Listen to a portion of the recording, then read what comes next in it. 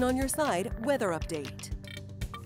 Are you ready for some windy weather for this weekend? Certainly going to be the case. That wind is going to bring in milder temperatures on Saturday to 50 plus, but then plunging temperatures on Sunday into the 30s will also bring some lake effect rain and a snow showers. Speaking of those winds, 35 plus mile per hour by the end of the day on Saturday and perhaps up to 45 plus on Sunday. Next week, sunny, dry, warmer, wet weather all the way through next weekend with 40s on Monday, 50s Tuesday, and then 60s on beyond into the following weekend. 13 on your side forecast.